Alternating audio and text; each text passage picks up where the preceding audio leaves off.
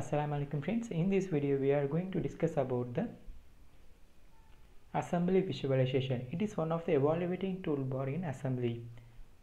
Just select the assembly visualization. A new window is opened on left corner. It show file name quantity and solid bodies. It is used to analyze the assembly easily.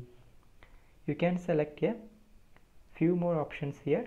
If you want to calculate the total weight of assembly you can see here it it will analyze each and every component weight and it will easily display also.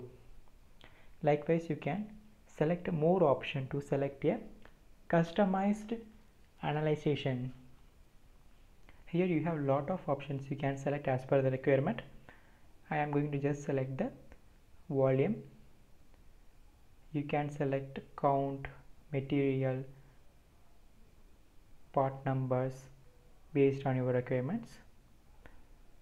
I just select a volume and then click OK. Now it will up updated with a volume in the left window. You can see each and every component.